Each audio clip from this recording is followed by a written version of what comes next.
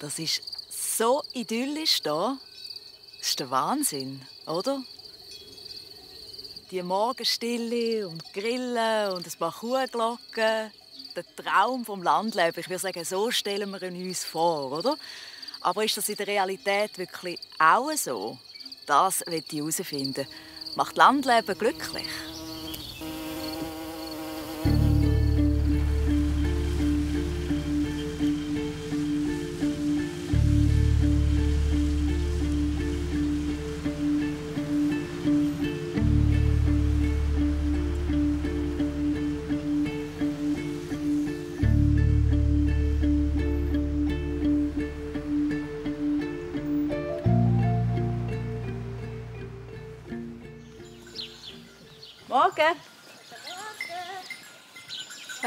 Haben, haben Sie schon zum Morgen bekommen? Genau.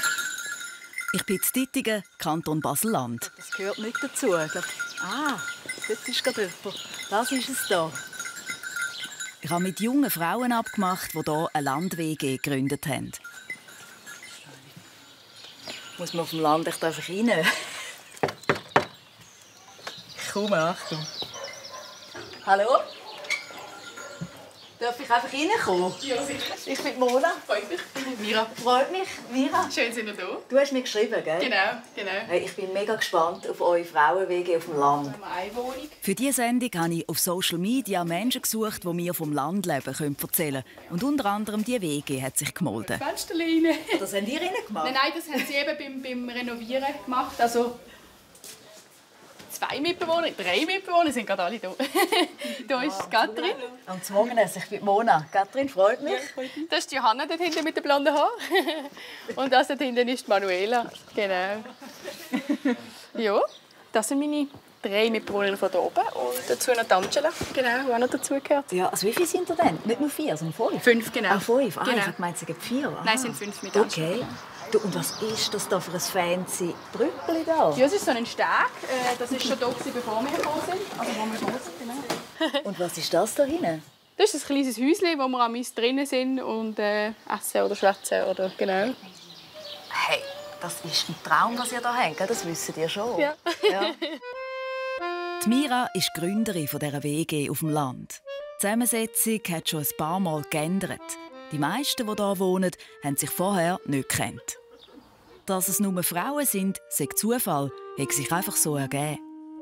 Der gemeinsame Nenner von der Wohngemeinschaft, sie wollen nachhaltig und umweltbewusst leben. Was, was machen ihr dort? Das ist anscheinend ein Löwenzahnkaffee.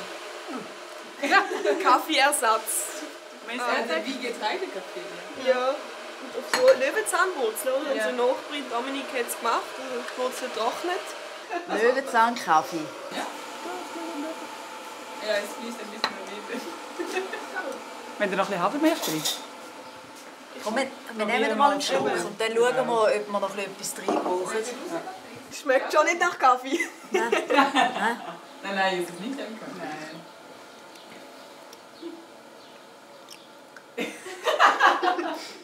Sag du zuerst etwas. Ja. Also überhaupt nicht wie Kaffee und nicht so gut wie Chicorée-Kaffee und überhaupt nicht so gut wie normale Kaffee. Es ist so gesund für die Leber. Ja, dann noch ein bisschen Zucker Ja, ich glaube, Zucker würde helfen. Gut. Noch mehr? Die Frauen sind alle um die 25, arbeiten als Fachfrau Betreuung, sind Organisationsentwicklerin oder studieren noch. Und alle haben vorher entweder in der Stadt oder zumindest in der Aglo gewohnt. Aber du hast mir vorher gesagt, es hätte müssen sein, weißt, aus der Stadt weggehen. Was heisst das? Eben, es ist einfach dass ich gemerkt habe, es, macht mich nicht glücklich, obwohl ich alles das habe, was ich das Gefühl hatte, das habe ich schon lange wollen. Wo- Also, wenn, also was hast du für eine Vorstellung gehabt vom Stadtleben und was Ich habe gedacht, so ein schönes, minimalistisches Zimmer, irgendwie alles passt zueinander, schöne Wohnung, man ist irgendwie im Trubel drin und dann habe ich gemerkt, eigentlich ist es genau, weil ich, ähm, ich hatte Borreliose vorher und ich habe mich wie nicht richtig davon erholt und ich habe so gemerkt, ich kann mich nicht erholen in der Stadt und es ist wie nicht, ich habe nicht genug ähm, Ressourcen dort, um mich wieder zu stärken und es hat sich irgendwie so lange gezogen, dass es dann irgendwie in das gemündet ist, dass ich dann so es ist dort schon nicht mehr so dramatisch gewesen, aber ich habe so gemerkt, irgendwie, ich möchte einen Ort, der mich nährt und nicht, der mich auslaugt. Ja. ja. Eben, die meisten gehen ja im Alter in die Stadt, weil dort ist Party, oder? Du kannst ja. das Leben richtig geniessen. Ihr habt das Gegenteil gemacht. Was haben denn gewisse Kollegen gesagt, als ihr gesagt habt, wir züchen das Juhe? Dann sehen wir uns nie wieder. ja, also schon. Also jetzt auch meine beste Freundin ist jetzt noch nicht so oft da gewesen. Und es ist für mich halt auch praktisch, wenn ich in der Stadt bin, noch gerade verbinden, um sie zu besuchen, anstatt dass sie eine Stunde rausfahren muss und wieder zurückfahren muss. Aber es ist dann schon so gesehen, oh, okay, du fahr, also wohnst jetzt aber ganz schön weit weg. Und, oh, und es ist schon gerade so der Weg, die Angst gesehen, dass man sich nicht mehr so sieht. Oder es muss eben ich gehe in die Stadt, um die Leute zu besuchen und nicht die Leute kommen hier an, mehrheitlich. Ja. Was hast denn du jetzt gesucht auf dem Land? Weißt, was für eine Idealvorstellung hast du gehabt? Eigentlich schon das, was da ist. Die Beziehung zu der Natur ist allen hier wichtig. In ihrem Permakulturgarten probieren sie Anbaumethoden aus, die nicht nur für den Mensch, sondern auch für die Natur stimmen.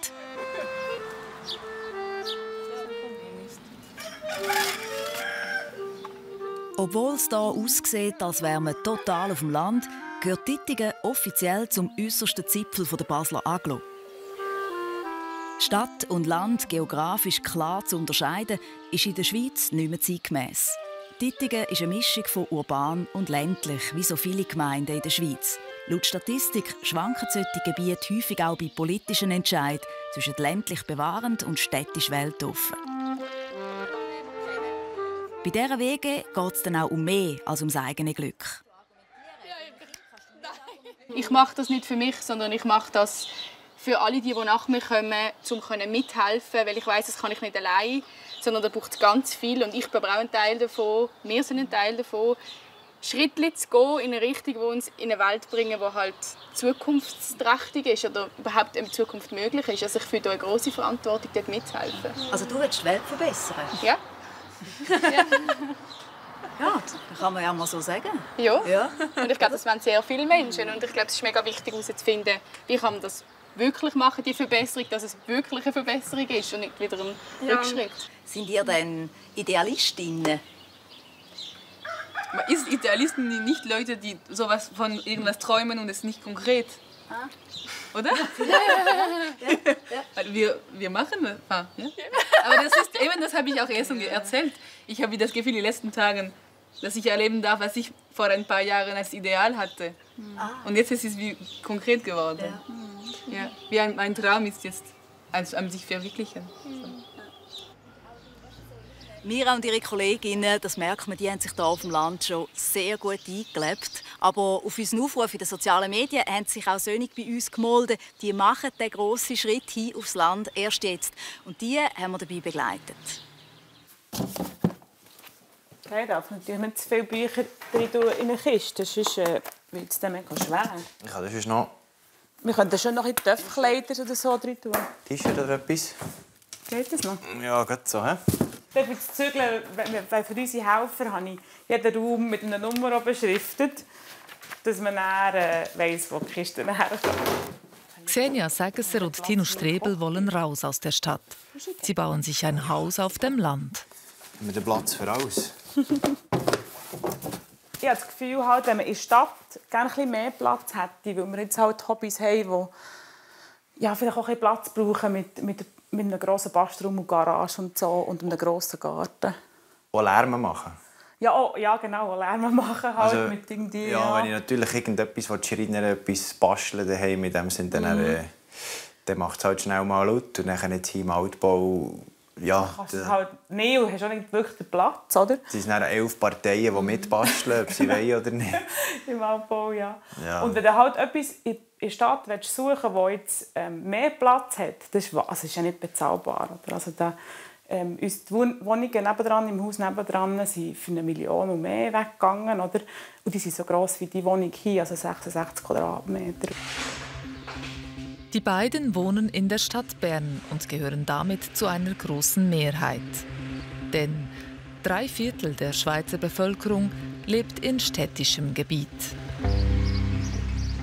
Erstmals seit langem an Attraktivität verloren haben Städte während der Pandemie. Wer es sich leisten konnte, flüchtete aufs Land. In unsere Reisebücher auch rein, Ja, das ist gut. Die jetzt wäre Küche nicht suchen. Bei Tino Strebel und Xenia Sagesser war nicht die Pandemie ausschlaggebend für den Wegzug aus der Stadt, sondern eine dreijährige TÜV-Reise um die Welt. Wir hatten drei Jahre lang unglaubliche Freiheit. Gehabt. Das ist die grösste Freiheit, die man haben kann, wenn man so unterwegs ist. Und wir waren ja auch sehr viel wirklich mit der Natur am Campen, ohne irgendeine Menschenseele zu sehen. Und ich glaube, da hat sich auch schon ein bei uns auch mehr herauskristallisiert, dass wir das eigentlich ausschätzen. das ist vielleicht auch ein, ein Grund, wieso wir das Land ziehen, oder? dass wir einfach ein mehr Freiheit brauchen um uns herum. Also es, es spricht mehr halt in der Umgebung Freiheit, oder? weniger Häuser nach, weniger ähm, ja, Leute um uns herum und so. Das ist ich glaube ich, etwas, was wir beide realisiert haben, dass wir das wahnsinnig gerne haben. Ja. Also, ich nehme noch das Bründli mit. Das ist gut, ja. Schon gut rausfahren. Es geht ins Emmental. Dort bauen die beiden ihr zukünftiges Daheim.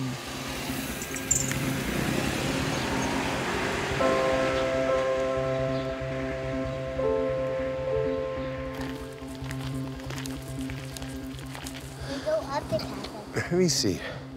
Whoa. Look, a ladybug.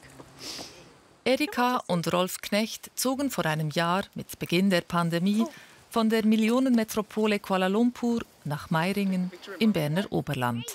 Straight away. So now listen to mommy and she will show you what to do, okay? Für mich fühlt es sich einfach richtig an. Es ist weniger gestresst, weniger Druck. Man hat mehr Zeit zum Leben, man hat mehr Zeit zum, zum einfach als Familie zusammen sein und, und ich finde, wir entdecken uns selber ganz neu wieder und wie wir in die Landschaft hineinpassen und das Ländliche und, und, und Spielerische mit den Kindern und, und draussen sein und ja, es müssen wir alles neu lernen, wieder, wie wir wieder entdecken. Und ja, sie hat einfach wirklich Mühe mit dem ganz anderen Untergrund. Und als wir angekommen sind, hat keiner von denen auf dem Gras laufen wirklich. Und dann, nach der Aufwärmphase geht es dann. Aber Sand geht, kein Problem am Strand. Aber das Gras oder Kiesel, Kieselstein ist ganz blöd. Boah. So in einem Fluss die Steinböden. Oder bis sie mal lange Hosen haben oder Wanderschuhe. Fleck du mir, ist das ein Kampf. Sind nur Shorts und Birkenstock, oder?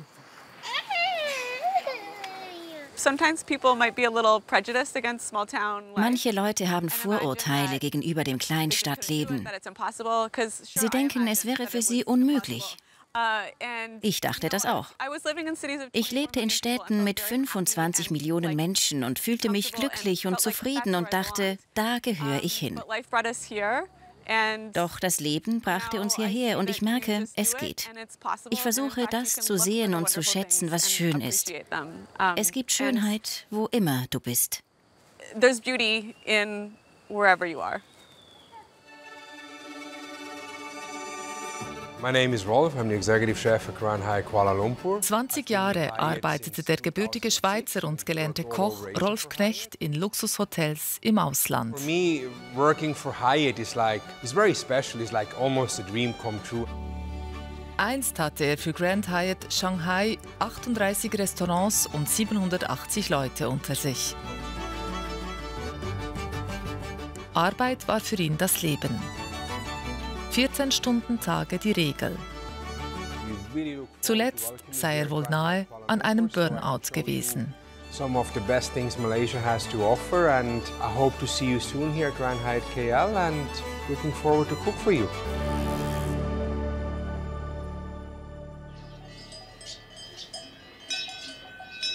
Luxushotels sind für Knecht passé. Jetzt kocht er für 120 Privatschüler und 40 Lehrpersonen der École d'Humanité auf dem Hasliberg.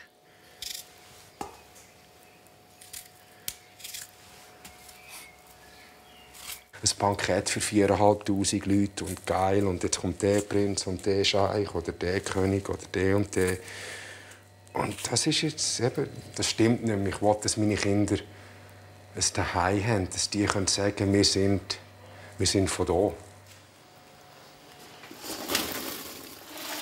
Ich habe keinen Hummer mehr, kein Rindsfilet mehr. Aber ich darf jetzt wieder richtig kochen mit natürlichen Produkten, wo ich weiß, wo es herkommt. Aber vor zwei Jahren hat er mir gesagt, ich spinne, wenn uns mal jemand gesagt hat, wir ziehen aufs Land. Aber zu Knechts Aufgaben an der Schule gehört auch der Außenbereich.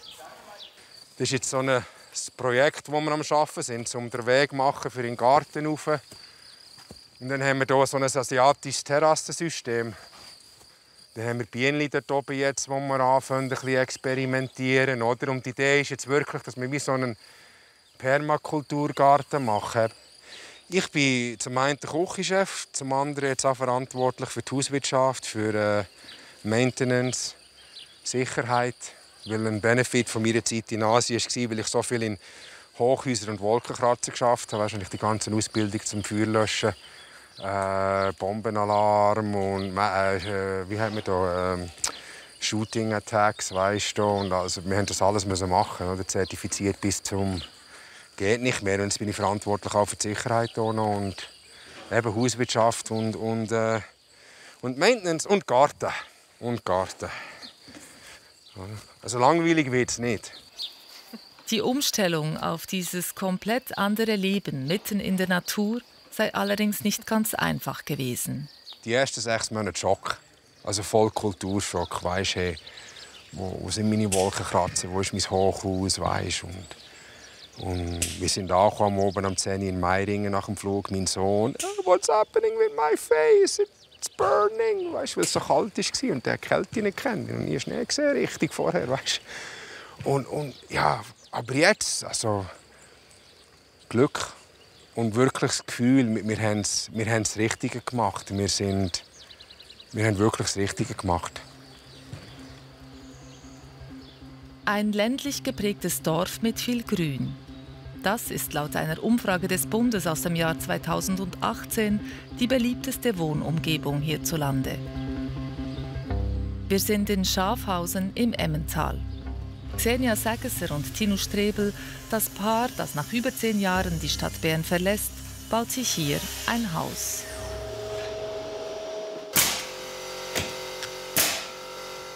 Ja, es sind also ziemlich viele Quadratmeter, die wir da selber machen. Aber so, ja, man bekommt wirklich eine emotionale irgendwie Verbindung mit dem Objekt in diesem Sinn. Oder?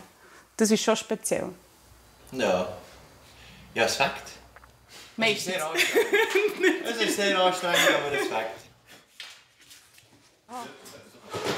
Ein eigenes Haus mit Umschwung. Über die Hälfte der Bevölkerung in der Schweiz träumt davon. Also uns gehört im Prinzip alles von dort bis dorthin, wo der schöne Rasen anfängt. Das ist uns, genau. Und hier unten wollen wir dann irgendwie ja, ein kleines Plätzchen haben, wo man sitzen kann. Also nichts Grossartiges, weil wir dürfen nichts bauen am Bach, aber dass man wirklich auch den Bach kann, kann geniessen kann. Ein bisschen zum Feuer schauen, ein Servala drüber. Genau. genau. Ich meine, unser Plätzchen, das wir gemietet haben in der Stadt, das ist auch schön. Aber wenn du natürlich hierher kommst, und dann das Plätschern vom Bach. Schon unverbaubares Land hier. Ja, und hinten dran haben wir ja den Wald. Also wir sind in fünf Minuten sind wir im Wald oben noch. Ja, Straße und Bahn. Es ist halt schon so, wenn man in der Schweiz aufs Land zieht, meistens ist man halt gleich einfach irgendwo an einer Straße. Oder? Ein bisschen Mobilität muss ja gleich sein. Also es ist so ein, so ein Zwischen. Hier haben wir nicht mehr Platz, haben halt ein Bächchen. Ich glaube, es ist eine gute eine sehr schöne Zwischenlösung. Ich glaube auch, ja. Von beiden klein, oder? Mhm.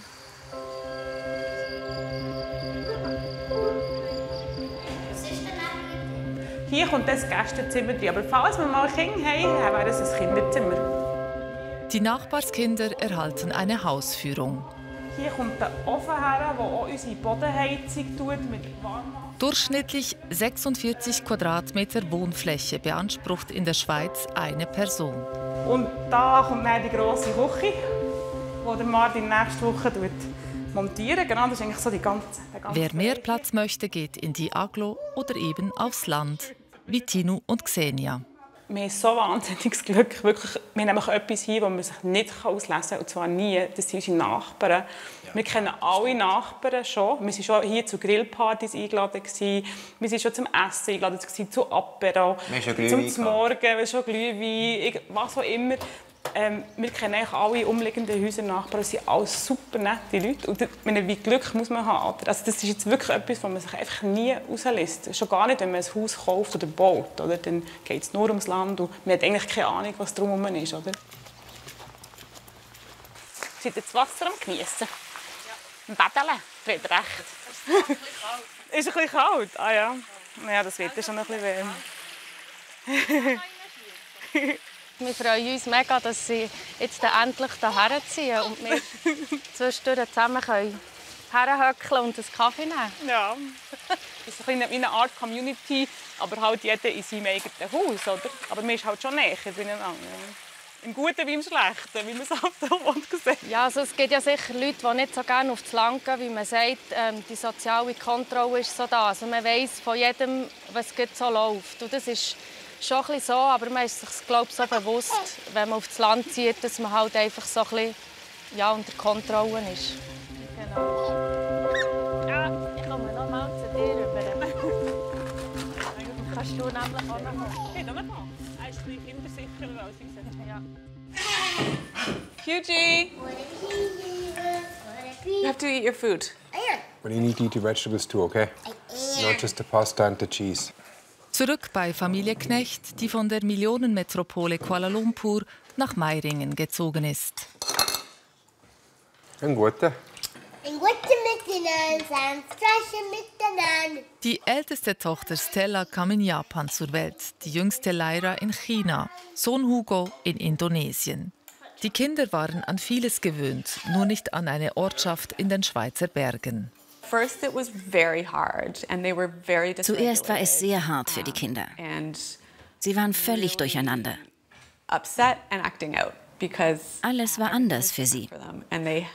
Sie mussten in eine Schule gehen, in der sie die Sprache nicht verstanden und sie mussten Regeln einhalten, die ihnen fremd waren. Aber sie schafften es.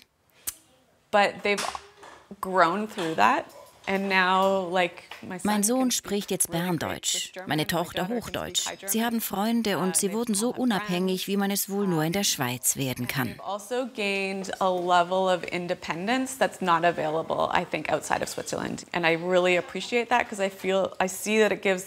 ich finde das großartig. Es macht die Kinder stolz, wenn sie im Laden alleine Milch kaufen gehen können.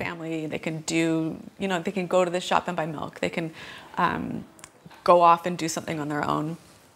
Uh, das ist wirklich toll. That's really good for them. Was mir aufgefallen ist, die Schule hat viel mehr Erwartungen an Kinder in Sachen Selbstständigkeit. In Asien werden die alle so verpäppelt, da tun sie die Jacken anlegen, den Kindern. Da hast du ja im Kindergarten mit 18 Schülern fünf Lehrer und zwei Helferinnen. Und da musst du allein sitzen mit einer Lehrerin oder zwei Lehrerinnen vielleicht für 20 Kindergärtner und leist die Jacke selber an. Oder es wird erwartet, dass Kinder Velo fahren können oder Rollschüler und das, das haben unsere alles nicht können. Das alles hätten ihre Kinder nun hier in dieser ländlichen Umgebung gelernt, sagen die Kosmopoliten Rolf und Erika Knecht.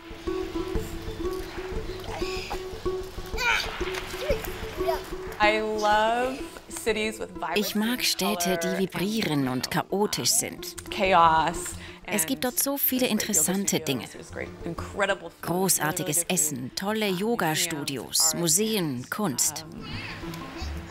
Hier gibt es nichts von all dem.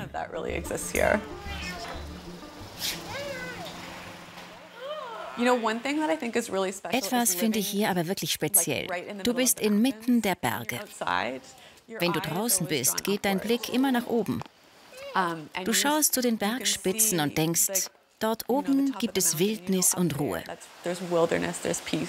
Du wirst demütig und kommst dir mit deinen Problemen ganz klein vor.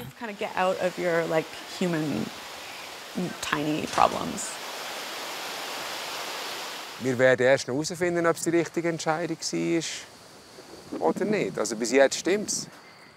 Du bist viel weniger gestresst bin viel weniger gestresst, ich bin mehr daheim, ich bin yeah. mehr präsent. Was manchmal gut ist, manchmal auch wieder neue Konflikte gibt, wenn ich jetzt ständig daheim bin, oder? Egal, hey Kinder, nicht spucken, okay? Guys, if you're gonna do Das that, mit go den Cherry. Stones, ja, mit den. Krisensteinen. Dann könnt ihr dort rübergehen.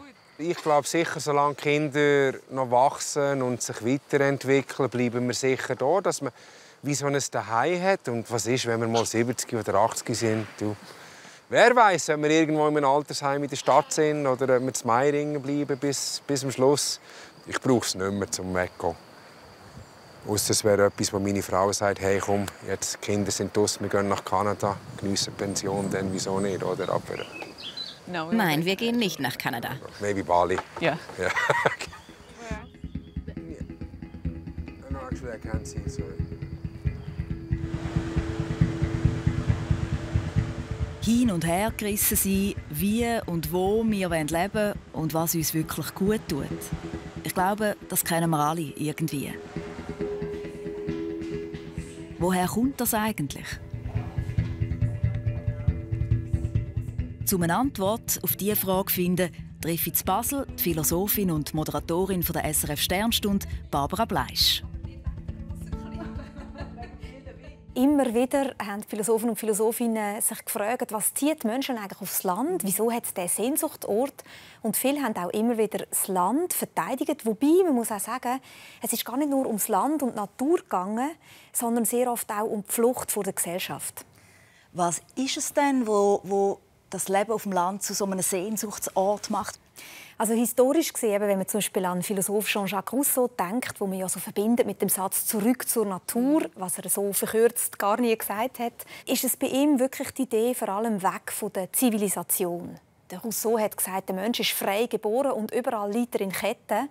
Und damit hat er vor allem gemeint Gesellschaft, wo der Mensch nicht frei sein wie er eigentlich ist, sondern überall werden wir vereinnahmt und fremdbestimmt und so weiter. Das heißt, für ihn ist die Flucht aufs Land vor allem eine Flucht gewesen, weg von dieser Gesellschaft. Ja. Heute Und Freiheit. und Freiheit. Ja.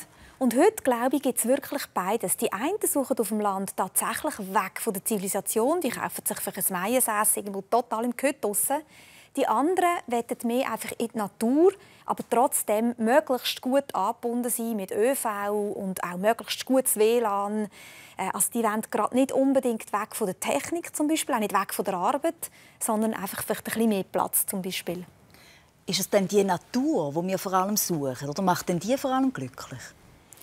Also ob Natur glücklich macht, ich glaube, das kennen wir alle, würde ich auf jeden Fall bejahen. Also Glücksforschung sagt es, oder? Die hat auf, auf unsere Psyche positive Auswirkungen, auf unseren Körper. Das ist, so, also ist wiss- wissenschaftlich Mhm. belegt. Wir suchen das Land oft auf, wenn wir im Ferienmodus sind oder irgendwie schon entspannt oder Sport treiben. Das macht sicher glücklich.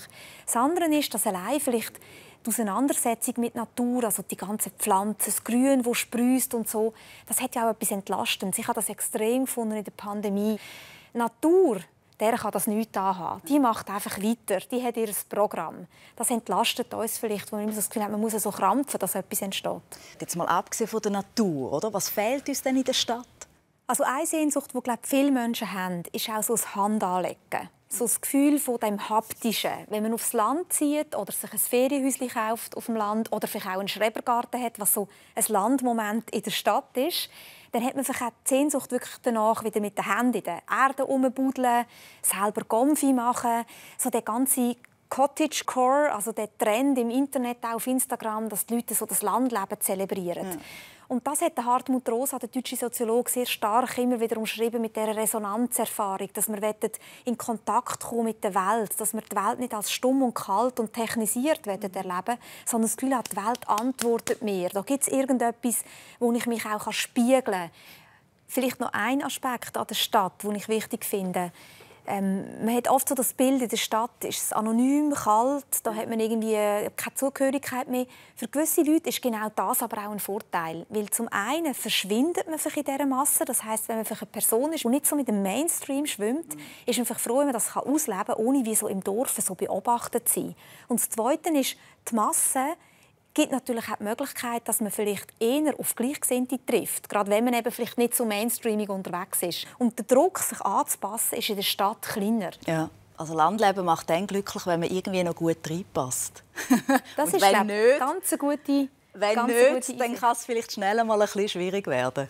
Und genauso äh, ist es meinem Kollegen Livio Gistel gegangen. Und er ist für uns nochmal zurück in das Dorf, das er in jungen Jahren so schnell wie möglich verlassen wollte. Darf ich vorstellen? Flont, ein Teil der Gemeinde Obersachsen-Mondaun. Es hat eine Beiz, es hat eine Post, ein paar schöne Stellen, schöne Landschaft und sonst eigentlich nicht viel. Von da bin ich abgehauen mit äh, glaub 19. Ich bin irgendwie, äh, habe ich mich recht allein gefühlt da. Ich, bin allein im Jahrgang und habe irgendwie nicht großen Anschluss gefunden. Mir hat das Landleben da überhaupt nicht glücklich gemacht. Und ich frage mich, wie es den Jugendlichen geht, die heute hier zu lang sind. Und jetzt treffen wir gerade eine, mit der habe ich abgemacht. Gehen wir sie besuchen. Das ist Elena Stucki. 16 ist sie, 11 Jahre jünger als ich. Ähm, sonst mal dahinter oder so. Finde ich immer noch schön. Sie ist hier geboren und aufgewachsen. Und das letzte Mal habe ich sie wohl als kleines Mädchen gesehen. Sie fühlt sich wohl hier auf dem Land. Der einzige Nachteil ist zum Teil, wenn es ein bisschen güllend Also es passiert halt noch viel, oder? Und dann, wenn man morgen aufsteht, das Fenster öffnet, dann kommt sehr schöner güller Geschmack. Oft ist sie aber nicht mehr da und durch die Woche ist sie im Sportgymnasium in Davos. Sie will nämlich Profi-Skifahrerin werden. Das bedeutet viele Trainings und Rennen in der ganzen Schweiz. Weißt du, das habe ich ein das Problem kein Flon, dass man sich wie ein bisschen ja, man ist fast eingesperrt. Man ist so ein bisschen... Hast, hast, du das, hast du das nie? Nein. Also ich weiß weiß nicht genau, wie du das meinst, aber... Ja, wir müssen gehen, um jemanden zu finden, wo, wo, wo halt ein bisschen... Ja, wie ich ist, in einer gewissen, auf eine gewisse Art, ja. oder? Und ich habe das Gefühl, es gibt noch viele in den Dörfern, die sich so ein bisschen fühlen. Ja, das ist... Ja, das verstehe ich schon von Art. Aber ich meine, ich habe... Ähm ich hatte ja auch andere Kollegen, die mehr so wie ich sind, ja. wo ich einfach vom Skifahren dann, äh, Eben, außerhalb vom Dorf, ja. aber... Ja, ah, siehst Aber von dem her habe ich schon auch meine... Also habe ich nicht nur die Flont... bin nicht nur in dieser Bubble. Gewesen. Ja, in der Flont-Bubble. Ja. aber die guten Sebi ist jeden nie Gase mit Tombo. Du fragst, ob ich es schön finde zum Heimkommen. Ja. Mega. also ich bin mega gerne da. Es ist so schön. Ich meine, schau dir das mal an, das Dorf. Das ist unherzig. Ja. Hoi. Und ich freue mich auch, zum zurückkommen, zu meine Eltern besuchen, die Leute sehen, die schon in meiner Kindheit da waren. Fland ist ein bisschen wie eine wunderschöne Postkarte, die deshalb aber auch ein bisschen stillsteht. Typisch für die Region. Und wie vielen anderen Jugendlichen ist auch mir das es wenn zu langweilig geworden. Hat das Dorf 224 Einwohnerinnen und Einwohner. Eine Handvoll davon sind Jugendliche. Da kann es gut sein, dass man ganz allein im Jahrgang aufwächst. Wie ich damals. Die nächste, die ich treffe, ist Antonella Messmer. 18, Fachmittelschülerin in Ilanz. Vor drei Jahren ist sie hier angezogen. Ihr Vater ist im Flont aufgewachsen und Antonella kennt das Dorf deshalb von den vielen Besuchen bei den Großeltern. Da im Dorf ich kenne nicht viele Leute und auch nicht Leute in meinem Alter. Also ich habe keinen Kontakt mit Leuten in meinem Alter hier im Dorf. Deswegen, wenn ich mit Kollegen sein will, muss ich halt schon ab auf Inland gehen. Die Ruhe, die Natur, das gefällt ihr. Aber eben, ihr Umfeld ist anderswo. Und so ein Umfeld haben in der Nähe, das vermisse sie schon. Zum Glück gibt es noch das Handy. Ihre Draht zur Außenwelt. Soll ich dir Bildschirmzeit sagen? Gern. es ist ziemlich hoch. Ich bin nicht stolz drauf. Und ich versuche das wieder zu vermindern. Und das ist jetzt bis Stunden. sechs Stunden. Und das jeden Tag? 34 Prozent ist jetzt aber ja. Vorher war es bei neun Stunden, bis zu zehn Stunden. Ohne Scheiß? Ja. Ich wünschte, es wäre nicht so, aber das ist so. Eben gerade, wenn ich da so isoliert bin, also isoliert, es klingt, als ob ich in einem Gefängnis wäre, aber das ist ja nicht so. Aber ich bin halt doch oft allein. Und meine Leute sind nur da erreichbar. Ja. So auf kurzer Zeit. Ja, das mit der Einsamkeit kommt mir noch bekannt vor. Und wir hatten damals nicht einmal Smartphones. Aber das Ganze kann man auch positiv sehen. Zum Beispiel, wenn man gerne ein bisschen Ruhe hat, wie der 16-jährige Enea Meyer. Er ist glücklich da. In dem Sommer hat er seine Schreinerlehre angefangen in der Schreinerei vom Dorf. Sein Umfeld ist in der Nähe, im Nachbarsdorf Obersachsen, wo die Flondner und Flonderinnen in die Schule gehen. Und dort ist auch der Ausgang an der Wochenende. Das Velo nimmt er mit, um später damit heimfahren. Weil am Abend fahren hier keine Postis mehr. Du nimmst mal einen krassen Weg auf dich zum Abmachen. ja. Der Ruffeli-Berg, wo er und seine Gespöne sich treffen, ist eine Freizeitanlage in Obersachsen. Wir haben ja immer den gleichen Punkt, gleiche Zeit, gleiche Ort, oder wie wir haben ja gesagt. Wie funktioniert das? Ja, machen wir einfach Zeit ab und dann sind wir meistens da einfach. Ja. Der, der Miguel jetzt bringt meistens dann das Trinken mit, oder sie manchmal auch noch. Ja. Öfters hat es noch Alkohol drin. Weil ich filme, kommt heute aber fast niemand von seinen Kollegen. Sonst laufe ich schon ein bisschen mehr und die Jugend von hier umeinander chillt es da bis in die Nacht hinein. Den Ort hier hat es zu meinen Zeiten noch gar nicht gegeben. Und ja, ob ich dann auch effektiv jedes Wochenende unter die Leute gegangen wäre, weiß ich auch nicht. Fazit nach diesen Gesprächen mit den Jugendlichen. Das Leben im Dorf ist für die ein Glück, wo auch hier Gleichgesinnte finden. Bei so wenigen Gleichaltrigen ist das aber nicht selbstverständlich. Das war damals schon so und an dem hat sich nichts geändert. Auf dem Land aufwachsen ist das eine, aber von den Eltern aufs Land verpflanzt werden, das ist dann nochmal eine ganz andere Geschichte. Und ich bin hier zu Omalingen, das ist Kanton Basel-Land, etwa 2000 Einwohner. Und dort treffe ich die Familie Scherer. Die haben vor 15 Jahren entschieden, um hier hinzuziehen und haben seither immer mal wieder mit dem Landleben gehadert. Und jetzt sitze ich hier im wunderschönen Vorgarten der Familie Scherer. Das ist Nathalie, das ist der Remo, die Tochter Nina, der Julian, der Sohn und ein Freund der Familie, der Fabian Müller. Und ihr habt mir vorher schon erzählt, dass es das wunderbare Haus war, wo ihr euch drin verliebt habt, euch entschlossen habt, um hier zu ziehen. Nathalie, was hast du erwartet vom Landleben? Ich habe mir keine Überlegungen gemacht. Ich habe mich nicht darauf vorbereitet, was auf mich, sozusagen auf mich zukommt, was vielleicht erwartet wird. Ich bin natürlich aufgewachsen hier. Also ich habe gewusst, was mich erwartet, als ich zurückgekommen bin. Ja. Aber ich habe mich alt genug äh, gefühlt zu diesem Zeitpunkt, um wieder zurückzukommen. Ja. Am Anfang ist es wirklich für mich auch so mitzubekommen, dass hier alle übereinander reden, wo halt alle einander irgendwie kennen. Das hat mich wirklich verunsichert zum Teil wirklich auch gestresst, aber das, ist, das habe ich so ablegen Aber wir haben am Anfang wirklich viel so Gespräche gehabt und er hat ihm gesagt, komm, lass, das ist einfach so, lass es doch, es kann doch gleich sein. Aber es ist mir wie nicht gleich gewesen. Also das Bedürfnis von mich integriert zu fühlen und nicht recht wissen, wie mache ich jetzt das, dass es wirklich mein Weg ist. Das ist am Anfang schon die ersten Jahre schon vorhanden gewesen. Jetzt fällt mir gerade auf, ihr seid ja aufs Land gezogen, um es vielleicht ein bisschen ruhig zu haben. zum Teil, wenn da etwas vorbeifährt, verstehe ich euch kaum. Habt ihr gewusst, dass ihr direkt an der Hauptstraße wohnt? Was heisst Hauptstrassenadresse? Eigentlich schon, aber das ist schon, den Verkehr muss man wirklich ausblenden. Wir haben, also ich habe es gelernt, Heute fällt es mir auch wieder mehr auf als sonst und am Wochenende ist es wirklich katastrophal. Wenn du durchfahren ist halt ein bisschen wie wenn du an der Autobahn wohnst oder an der Zuglinie. Oder? Irgendwie gewöhnst du dich daran. Oder? Aber wir merken sehr stark, wenn Freunde aus der Stadt kommen und die dann sagen, hey, aber hallo, da sind eigentlich Leute bei, bei uns. bei uns ist es ganz klar leislicher im Quartier. ja. Du wohnst jetzt ja. in Basel wieder in der Stadt? Ja. ja. ja. Wir sind ja nicht allein, sondern ihr habt ein Kind mitgebracht vor 15 Jahren. Dort bist du 14. 14 ja. also in einem anspruchsvollen Alter.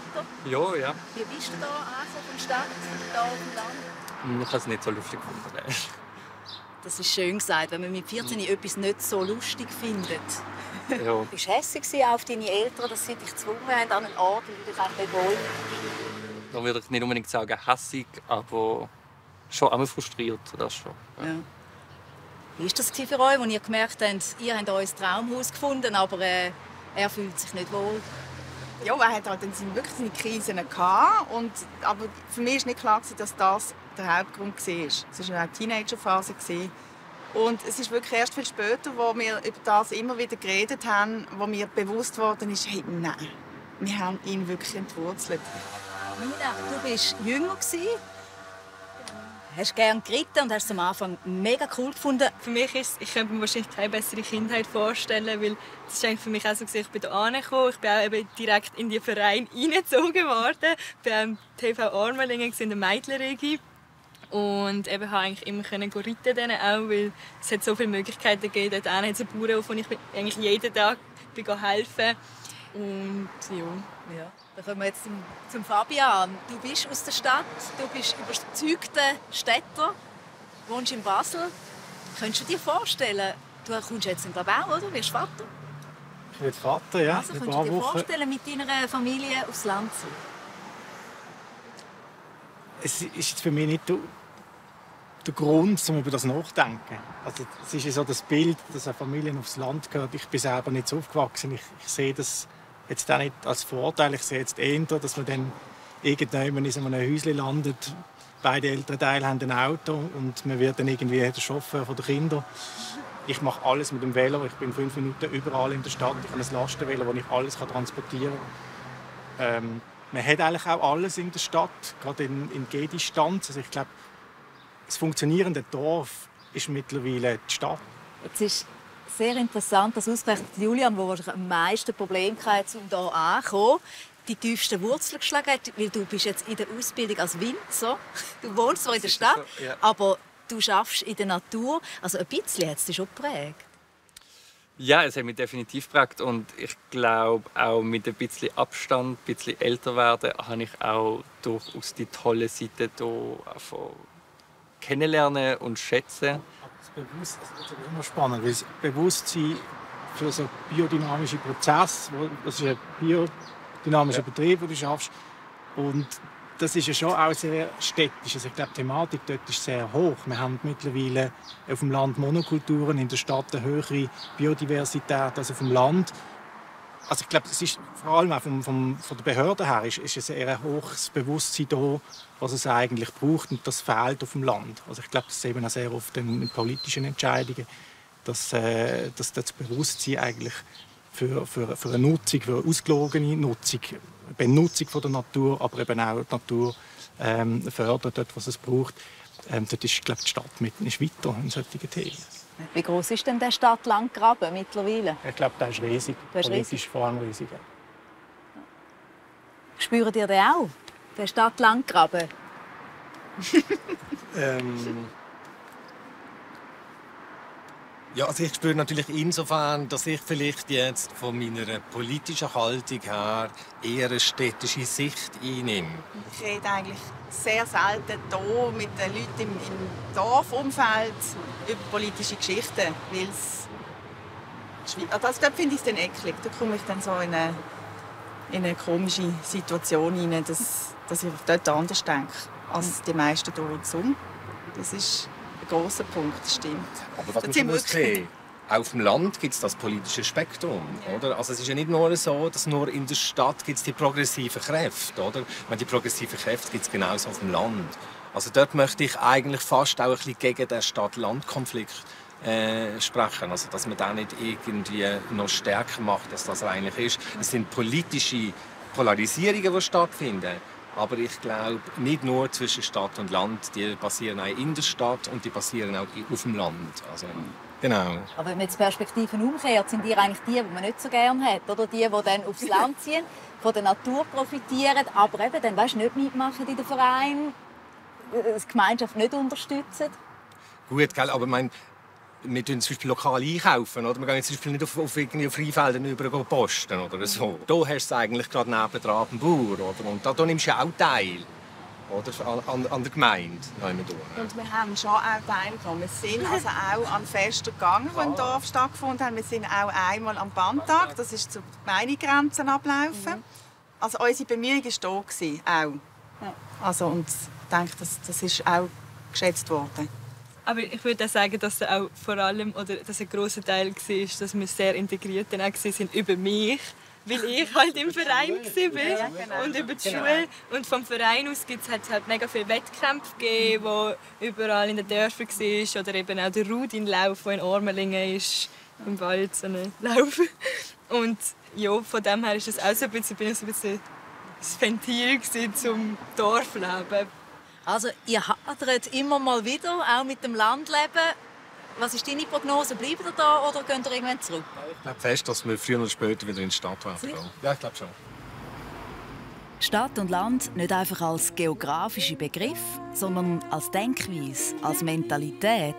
Und dass es fürs Glück eben nicht nur wichtig ist, dass die Natur schön ist, sondern auch, dass man sie mit Menschen teilen kann, die ähnliche Werte vertreten. Ich bin wieder in der Frauenwege in Dittingen im Baselbiet.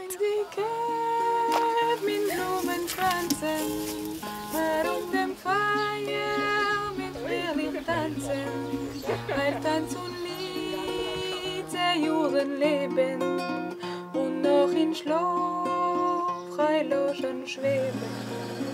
Die Frauenwege macht sich bereit fürs Fest vom Abend. Das erste Mal, seit sie hier wohnen, wenn sie ihre Nachbarn einladen.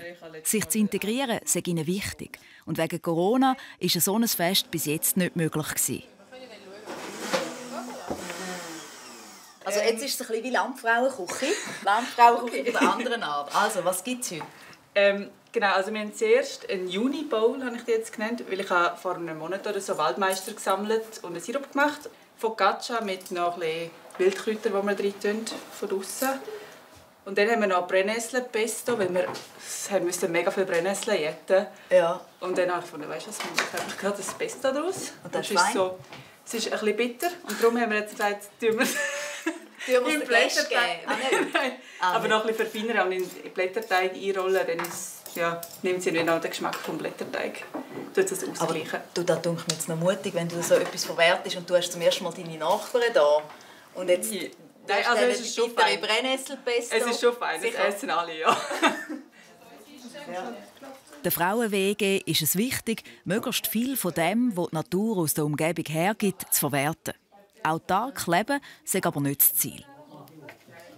Das ist jetzt nicht alles aus eurem Garten, oder? Nein, also nein, nein. Barber haben wir jetzt vom Markt. Wir gehen immer am Freitagmorgen am Markt auf Laufen. Haben ihr ein Auto eigentlich? Oder wie gehen die? Sind ähm, mobil? Nein, da mit dem Velo. Und Mira hat einen Elektroroller. Okay. Ja. Und das ist ja tatsächlich ein Problem, oder? Wenn du so weit ab vom Schuss wohnst, wenn du kein Auto ja. hast. Und der Bus fährt auch, es geht.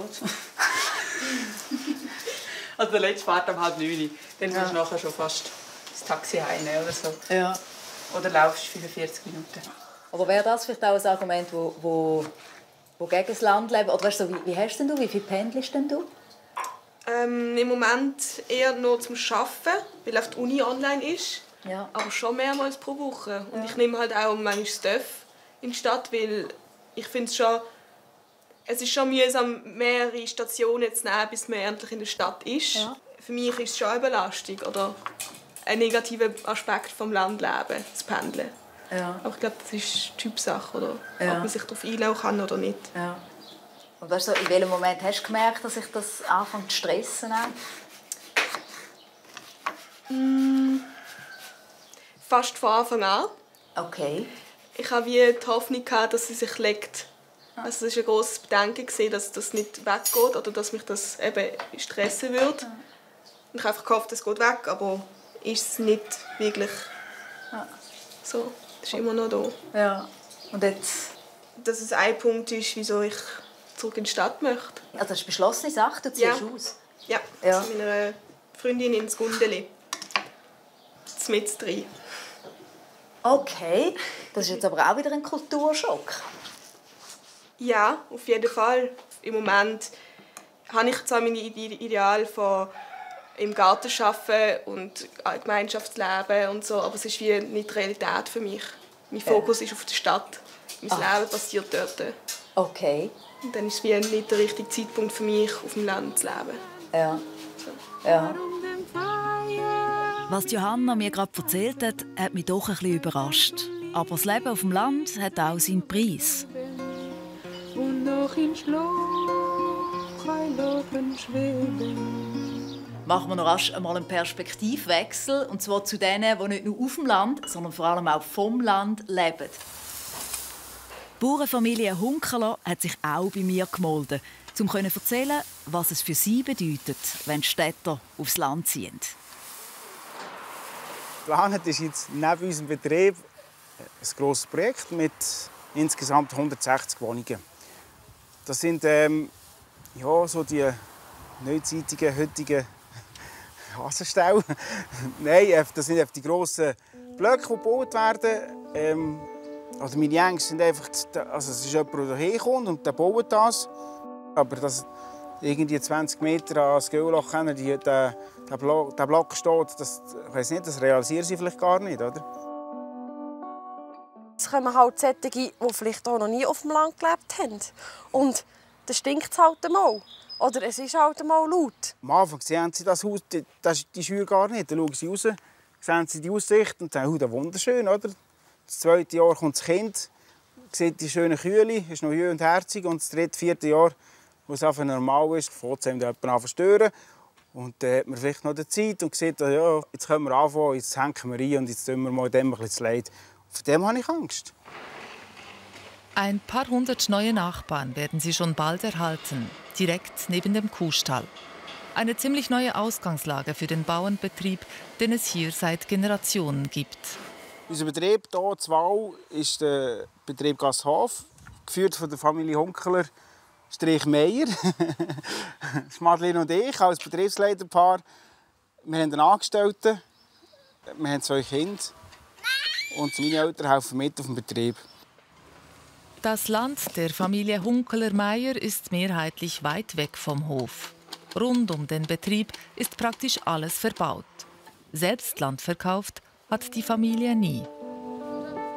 Die Gemeinde Wauwil im Kanton Luzern ist eine Wachstumsgemeinde und hat sich in den letzten zehn Jahren stark verändert. Wauwil mit Weitsicht ist der Slogan der Gemeinde.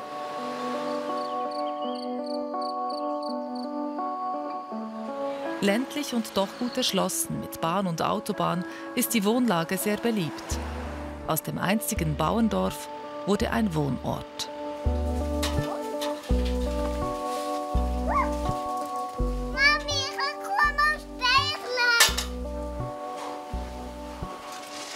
wir arbeiten hier, wir wohnen hier, wir leben hier. Oder? Ein normaler Bürger von hier, der geht in die Stadt arbeiten. Und geht hier wohnen. Oder? Das heisst, wenn er hier ist, Wahl ist, Walwil ist eine Wohngemeinde und nicht eine Arbeitsgemeinde. Walwil, da geht man uns erholen. Wenn man hier ist, hat man Freizeit. Die, die frisch zugezügelt sind und uns nicht so kennen oder die halt gar nicht von der Landwirtschaft sind. Ich merke, ähm, dass die Privaten einen anderen Ablauf haben als wir zwei oder wir alle auf den Bauernhöfen. Ich meine, Sonntag wäre schön, wenn es manchmal Sonntag ist, aber dann macht man halt gleich das und dieses. Mit Direktverkauf ab Hof suche man den Kontakt zur Nachbarschaft. Und da wolle man noch mehr investieren. Verständnis schaffen zwischen Landwirtschaft und Konsumentinnen. Das Verhältnis zu den Nachbarn sei grundsätzlich gut und trotzdem nicht ganz konfliktfrei. Lampen haben wir schon mit, dem, mit der Milchkühlungsanlage. Die hast ähm, also im, im, im, im, im Betrieb innen, ist nicht am, am, am Nachbarn, sondern die hat irgendwie eine Schaupflicht abgegeben, die für uns nicht relevant war. Wir, haben, wir sind mit den Nachbarn geredet und irgendwann haben wir gemessen und nachher können mit den Messungen dürfen zeigen, dass wir, äh, dass wir kein Problem ist. Ich habe sie aber verstanden und wir haben sogar noch interveniert. Wir haben das noch probiert, einen Schallschutz rundherum zu machen. Ich hoffe, das ist jetzt gut für sie. Aber äh, das hat mich jetzt ein paar Tausend Franken gekostet, oder? Das wird uns vielleicht in Zukunft noch manchmal passieren, dass wir halt ein bisschen Konflikt haben mit Nachbarn, weil wir halt da sind. Aber das ist einfach, ja, das ist das Leben auf dem Land miteinander. Manchmal halt auch ein bisschen gegeneinander. um den Dichtestress im Dorf zu umgehen, will die Bauernfamilie den Hof außerhalb erweitern. Die Gemeinde hat das Projekt gut geheißen. Da sind wir jetzt genau auf dem Ort, wo wir eigentlich unsere Legehennenstall, unseren Legehennenstall bauen. Warum hier? Im Dorf innen, sehen wir bei den Wolkenrennen geht es nicht mehr, aus dem Grund der Abstände. Wir sind viel zu nahe gegenüber unseren Mitbewohnern, Nachbarn. Das heisst, Neben einer Scheune, die ihnen bereits gehört, hätten sie bauen wollen. Doch der Kanton hat abgelehnt. Also der Stau wäre für uns ähm, sehr wichtig. Wir hätten wieder ein sicheres Standbein für die Zukunft. Wir sind beide gebildet. Du bist Meisterlandwirt, ich habe Bäuerin mit Fachausweis noch gemacht. Uns ist eingerichtet worden, wir sollen innovativ sein, wir sollen gute Ideen haben, wir sollen motiviert sein, kreativ und halt auch mal mit dem Grimm voran etwas durchstieren. Da sind wir immer dran und gleichzeitig mit unseren guten Ideen, wie es auch vielen anderen jungen Bauern geht, scheitert es einfach an der Bewilligung. Aber das Projekt geben wir ganz sicher nicht auf. Wir machen das für uns und nicht irgendwie wegen lustig. Und wir haben auch schon sehr viel Geld investiert. Wauwil sei auch für sie ein Wohntraum, sagen Madeleine und Markus Hunkeler. Und den Betrieb würden sie gerne an die nächste Generation weitergeben. Wie die Zukunft aussieht, ist schwierig. Das ist ja, jetzt gerade ist ähm, die Lage noch ruhig, aber irgendwann wird es einfach ein bisschen prekär für uns. Gell?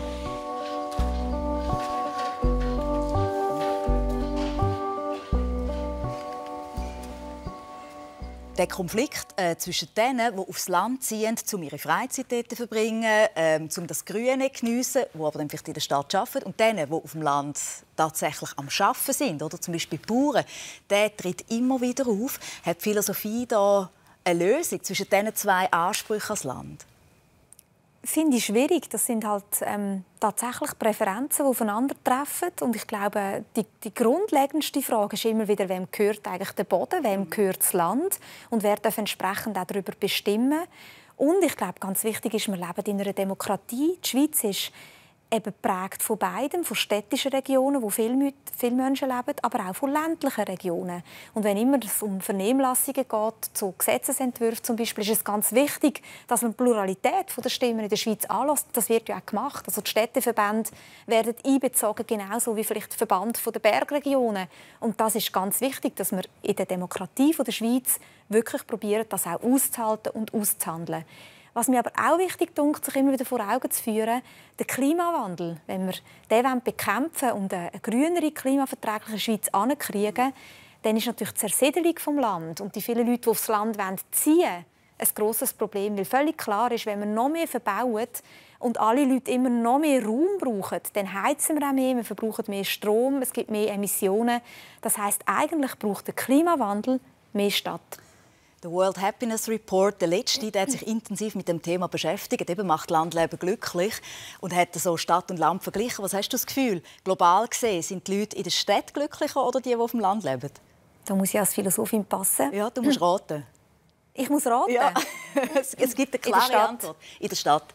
Warum denkst du in der Stadt?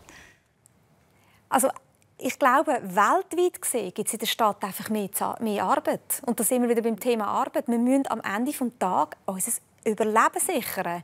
Und das ist einfach eine Existenzfrage. Und die ist in der Stadt zu finden. Es ist genau so. In den allermeisten Ländern der Welt sind die Leute in der Stadt im Durchschnitt glücklicher als die auf dem Land. Mhm. Genau wegen dem, was du gesagt hast. In der Stadt entsteht eigentlich der Wohlstand. Und in ganz vielen Ländern ziehen die Leute eigentlich in die Stadt. Und dann gibt es ein paar wenige Ausnahmen von den reichen westeuropäischen Nationen, wo inzwischen die auf dem Land glücklicher sind. Warum?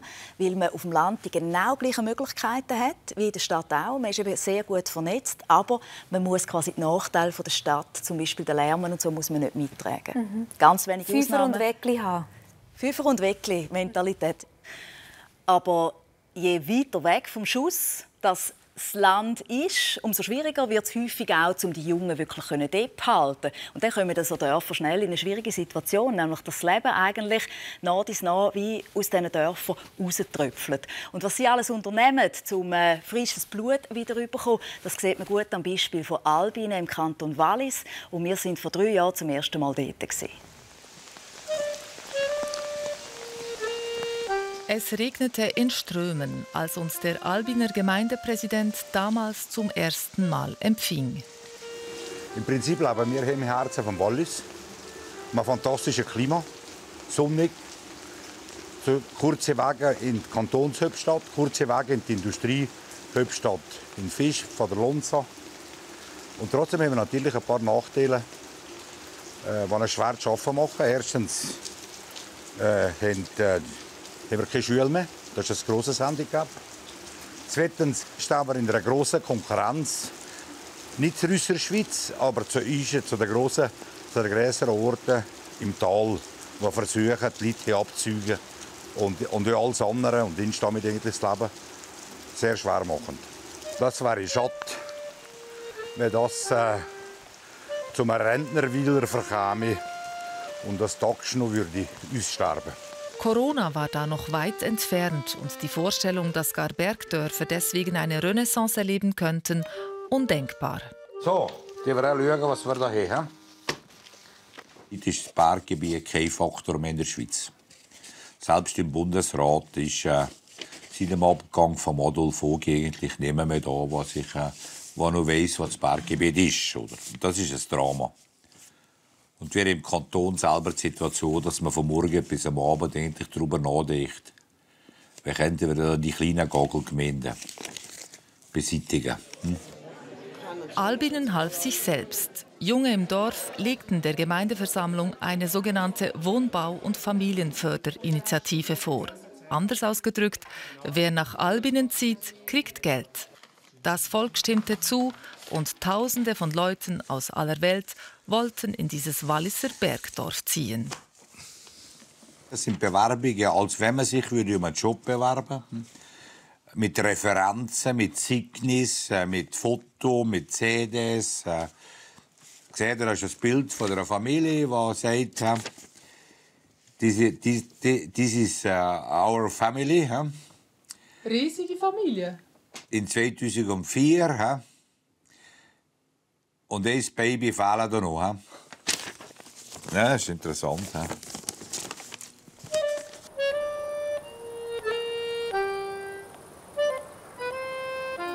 Elmar Antamatten und Roger Haudenschild gehörten zu den Auserwählten. Dank der Wohnbauförderung konnten sie sich in Albinen ein Haus kaufen. Das ist das neue Heim. Ja. Ja, ich halt noch ein bisschen das Puff, weil wir halt noch nicht so eingerichtet sind. Aber das eine oder das andere sieht man ja wohl. Das hier ist das Schlafzimmer. Ja, Schlafzimmer, aber das gesagt, ist noch wir haben auf etwas aufgestellt, aber ist ja. so, ja. Und unsere Matratze kommt vielleicht in eine Woche oder zwei Wochen. So, aber nachher es kommt nachher nicht so aus wie eine Bambe. Je 25.000 Franken haben sie von der Gemeinde als Zustupf erhalten, weil sie in Albinen in ein Haus investiert haben und da leben wollen. Ich finde das nicht komisch. Ne? Ich finde das eigentlich mehr die Liebe zum Detail, weil man halt wirklich an diesem Dorf heicht und halt alles probiert, für das das Dorf nicht untergeht, oder?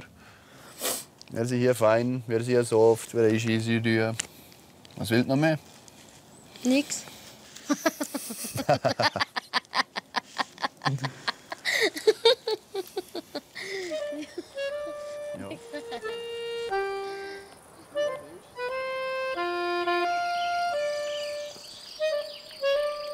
Drei Jahre später treffen wir Roger Haudenschild wieder. Elma Antamatten und er haben sich getrennt. Sie lebt nicht mehr in Albinen. Wie hat er es jetzt mit der äh, Wohnbauförderung gemacht? Ja, ich habe den Betrag zurückgezahlt, den sie der Gemeinde geschuldet hatte. Und das war kein Problem? Das war kein Problem. Zahlt man den Fix, also den Vollbetrag, wieder zurück oder äh, partiell? Äh, den Vollbetrag. Okay. Ja. Wie ist es jetzt für dich? Bleibst du in Albinen? Ja, der Moment schon. Der Moment schon. Man weiß nie, was passiert im Leben.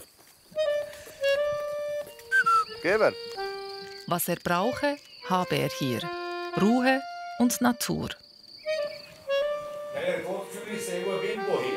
Der Gemeindepräsident Beat Jost. Nach drei Jahren Wohnbauförderung zieht er Bilanz. Wir sind erfolgsversprechend unterwegs. Das heißt? In die gute, richtige Richtung. Jetzt hier ist die neueste Übersicht. Einfach zur Dokumentation. Wohnbau und Familienförderung von Albinen. Und da haben wir alle Gesuche. Wir haben hier beispielsweise bis jetzt, siehst du da, 16 Gesuche bewilligt. Betrifft 35 Personen. Rund 760.000 Franken Beitrag bewilligt, oder? Ich kann vielleicht sagen, ist, äh, es ist von allen Modellen, die ich bis jetzt angeschaut habe, es gibt diverse Versuche in verschiedensten Regionen. Äh, Im Alpenraum, im Berggebiet, würde ich mal so sagen, das Modell Albin ist nach wie vor das Interessanteste. Im Dorf gab es aber auch immer schon Kritik dagegen. Ich finde es schlecht. Sehr schlecht. Warum? Die haben hier noch nie einen Franken Steuern gezahlt. Wer hat erlebt, hat hier Steuern gezahlt? Das sollen sie mal einschalten und etwas ablassen. Einmal die Steuern ablassen. Einmal im Jahr. Du, zahlst, du kannst doch zufrieden sein, wenn du Steuern kannst zahlen kannst. Dann hast du etwas verdient. Mutter ist nicht gleicher Meinung, hä? Nein, die ist nicht gleicher Meinung. Nein, das, nein, das, das ist nicht, nicht, nicht gleicher Meinung. Nein. Ist ein Quatsch? Ja. Ist ein Quatsch? Es ist nicht Quatsch. Ich habe gesagt, ich bin nicht dafür, fertig. Und ich habe meine Meinung. Und, jeder, und er hat seine Meinung. Wunderbar ist das. Siehst du, so geht Meinung auseinander. Soll ich ehrlich sagen, ja. ich nicht unbedingt. Auch jeder muss vom Herz aus mit dem Gefühl hierher wohnen. Er muss mit Freude hierher wohnen. Ja. Was das sagt der Gemeindepräsident dazu? Der ist da nicht so gleicher Meinung sicher. Aber ich finde einfach, du musst Freude haben an der Natur Nein, und jetzt- hier wohnen mit der Freude. Nein, nein, wir, wir kennen die Meinung. Das ist gut, das ist meine okay. Meinung Ja. einfach. Wir kommen da schon noch mal vorbei. Ja? Gell, hä? Ich hoffe es. Schau, da hat jemand ein Posterglas. Guck mal, der kann es essen. Ja, das haben nicht alle im Dorf gut gefunden. Das ist, wäre ja eigentlich völlig, das wäre ja schon ein Wunder, oder? Es, aber es gibt, ich würde sagen, wir, wir haben ja damals abgestimmt, 100 Leute in der Urversammlung, 7 sind dafür gestimmt, 30 dagegen. Mindestens das Resultat würden wir heute noch erreichen. Ich würde sagen, sogar noch besser. Ah ja? Ja. Also, dass wir unsere Einwohnerzahl mega gehalten haben, ist schon, ist schon sehr gut, oder? Corona hat ein paar Möglichkeiten aufgetan, gell? Indem dass du äh, äh, Leute plötzlich merken, ich kann ja, die, die jetzt Homeoffice sind, ich kann ja hier arbeiten, oder? Das ist ja gar kein Problem. In ihrem Tiny House inmitten der Bergwelt funktioniere Homeoffice perfekt, sagen Lea und Pierre Bige. Machst du Erdbeerpommes frites? Und bumm. Im Sommer 2020 sind sie hier eingezogen. Ja. Zack, zack, zack. Es ist halt rundum wie noch nicht ganz fertig. Ähm, das ist immer noch ein bisschen Baustelle, weil wir noch auf einen Teil von der Bewilligung warten. Aber äh, ich komme doch einmal rein. Albinen habe sie offen empfangen, nicht wie andere. Es ist ein, bisschen ein spezielleres Projekt und wir haben da mehrere Gemeinden angefragt. gehabt. Auch zum Beispiel, weil es ein gutes Projekt ist für Wohnverdichtung oder zum Flächen zwischennutzen. Aber das ist wie nicht viel zurückgekommen oder sehr erschwert. Entweder ist gar kein Feedback gekommen oder ja, das, was ist das für etwas Komisches? Erklärt das mal haargenauer und und und. Also es ist wie so, der Heber ist wie gar nicht wohlgefühlt, oder? Mhm. Es ist, wir sind immer auf Skepsis gestoßen und der haben wir wie nie so frei gehabt. Und hier ist wie von Anfang an nicht Skepsis da gewesen, sondern eher, ja, wenn er die Standards erfüllt, die es braucht für ein Haus in dem Sinn. Das Das bedeutet, Wohnen und arbeiten auf dem Land und ab und zu für einen Job in die Stadt gehen. Pierre und Lea Biege sagen, das hier entspreche ziemlich exakt ihrem Lebensideal. Auch Severin Hermann hat in Albinen gefunden, was er braucht zum Leben. Er ist hier aufgewachsen und will bleiben. Er hat ein kleines Geschäft mit Kräutern aufgebaut und bepflanzt die alten Terrassen des Dorfes wieder. Man ja nicht immer ähm, alles in Geld rechnen, sozusagen. Das ist einfach meine Dings. Ich rechne gar nicht alles in Geld. So. Niveau ein bisschen tiefer und habe mehr Zeit. Und mir gefällt, was ich mache, das ist so das. Aber das muss auch nicht jeder so haben. Ich kann niemandem sagen, komm jetzt, das ist das einzige Richtige oder so. Das ist für mich das Richtige und fertig.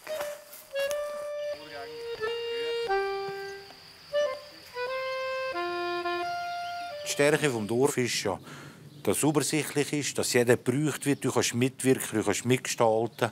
Und das ist eben das, was die Leute mit einem Dorf in Verbindung bringen. Oder? Und die, die herkommen, denken, jawohl, ich will hier nicht anonym leben, wenn eine Agglomeration, wie beispielsweise in Schlieren oder Wallisellen, oder? Sondern hier kann ich wirklich, äh, bin ich jemand. Und ich kann mich engagieren und, und, und, und, und da mitprägen, das Dorf. Oder? Ob das Landleben glücklich macht, weiß ich nicht. Aber Albinen macht glücklich, weil wir Albinen, wir leben im Paradies. Oder? Und im Sommer 2022 soll gar die Schule wieder aufgehen.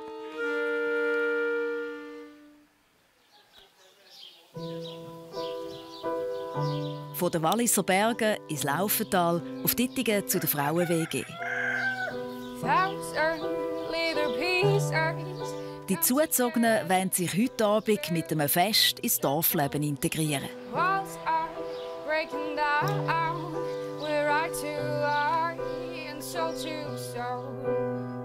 There is no time anymore to run away. Also der Aaron bringt gerade Bier. Wir haben hier eine Bohne, wo noch Wasser, wir haben Sirup, wir haben Rhabarber. From all the countries the old, I'll say. Fast vegan, aber nicht ganz. Es gibt auch unvegane Leute. Es ist nur, nur Jockey-Würfel, die ein bisschen, bisschen Pulver, äh, Vollmilchpulver drin haben. Der Rest ist vegan.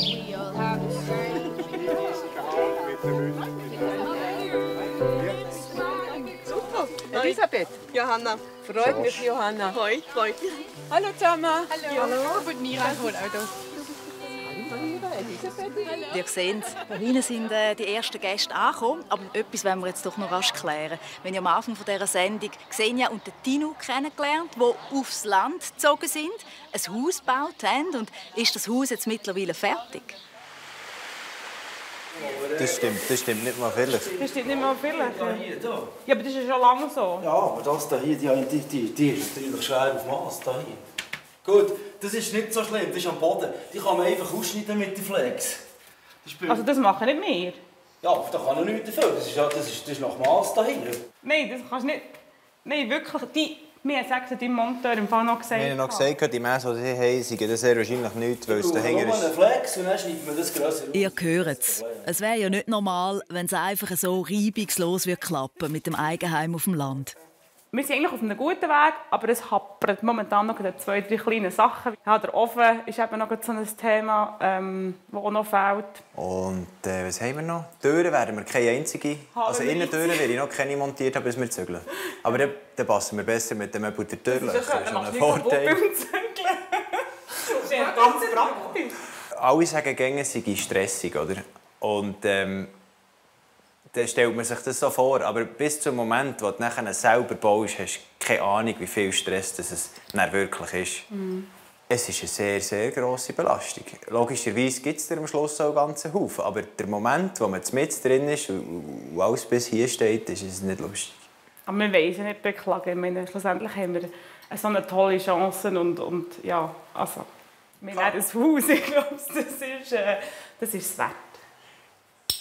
Beste. Cheers. the countries we rise up, the youth, the old, I'll say. Stop. We know what has to be done. Ja, schön sind ja alle da und sind äh, bei uns im Garten und feiern mit uns und die Nachbarschaft. Und ich würde sagen, das Buffet ist eröffnet. Zum Wohl.